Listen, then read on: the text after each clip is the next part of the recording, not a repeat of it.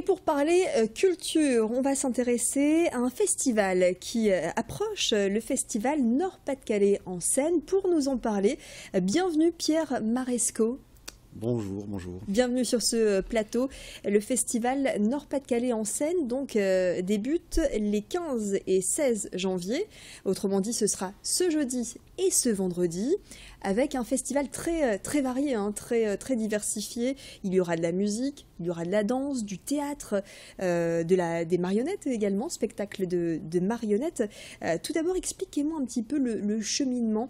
je crois que c'est un, festival régional impulsé par un autre festival qui est lui national. Tout à fait, oui. oui, oui.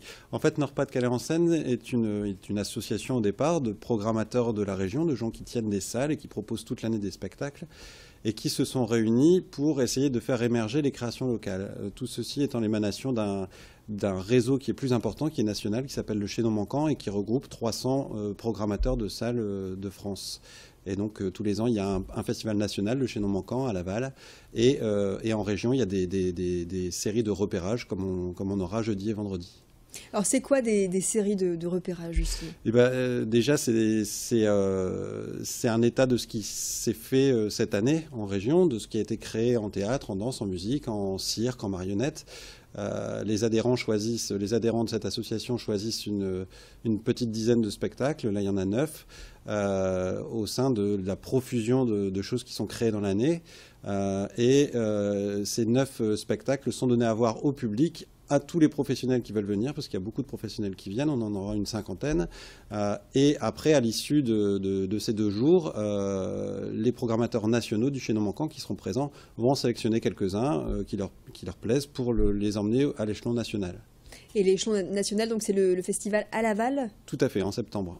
Au mois de septembre, qui réunit 13 euh, 000 spectateurs 13 000 spectateurs, il y a une soixantaine de spectacles, et puis ça permet, euh, à, ça permet à des compagnies euh, toutes récentes, toutes jeunes, qui sont en train de, commencer à vivre, d'être connues d'abord sur l'échelon régional, puis national, voire international, puisqu'il y a aussi des fédérations québécoises, suisses, belges, d'un peu partout dans le monde qui viennent à ce festival national. Alors le tarif euh, est unique. Euh, là aussi, le but, c'est de, rendre un peu ce spectacle euh, accessible à, tous avec un tarif à 3 euros, tout simplement. 3 euros, c'est dérisoire. C'est aussi l'idée de dire que même si c'est pas cher du tout, ça n'est pas gratuit. Il faut quand même avoir un mouvement.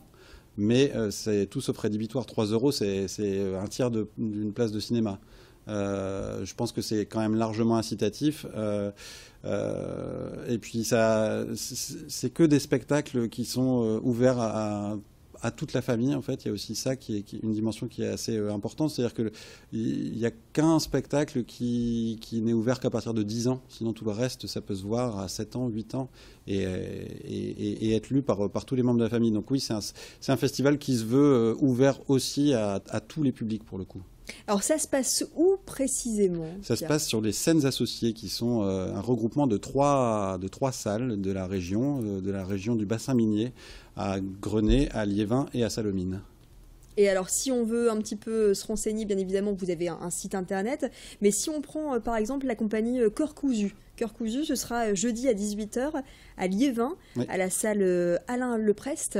Euh, Qu'est-ce que vous pouvez nous dire sur cette compagnie? Alors, c'est euh, Cœur Cousu, c'est la, création, c'est la pièce. En fait, c'est tiré d'un ouvrage de Carole Martinez qui a été adapté pour le, pour le théâtre, pour le théâtre d'objets et de marionnettes, pour le coup.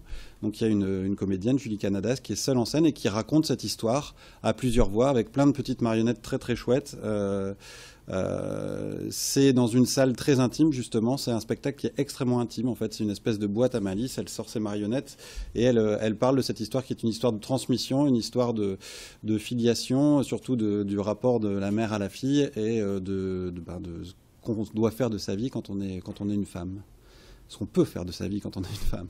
Donc un spectacle à destination euh, des adultes, mais aussi des enfants. Oui, oui, c'est tout à fait, euh, c'est conçu pour, pour, les enfants. Et puis euh, une soirée hip-hop également. Oui, oui, oui, Bah, ça montre bien l'éclectisme. Hein. On passe, de, on passe du théâtre d'objets et de marionnettes à, à, une scène beaucoup plus urbaine, plus contemporaine. Il y a Phoenix Crew qui sera là vendredi soir sur un plateau qui sera lui aussi très ouvert puisqu'on a une première proposition en chanson qui sera Tony Melville ce soir-là et après on a Phoenix Crew qui est un groupe de hip-hop qui est en train de bien bien décoller, qui était au Transmusical de Rennes porté par, par la Marmite et qui là a été, a été proposé pour ce, pour ce festival.